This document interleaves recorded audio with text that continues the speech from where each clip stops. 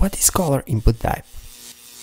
Color input type is input type that we use to create color picker. Color picker is basically element that you can click and the palette of color will be open so you can choose any color that you want.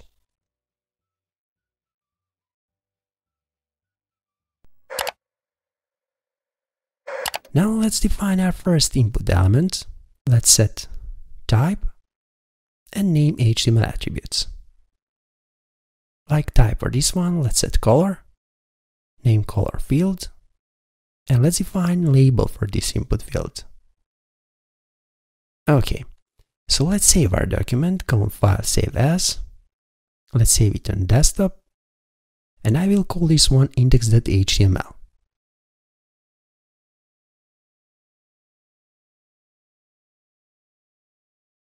So here it is, this is our newly created index page, so let's open it. I will use Google Chrome. And here it is. This is our color picker, so when we click on it, palette with colors will be open so you can choose any color that you want.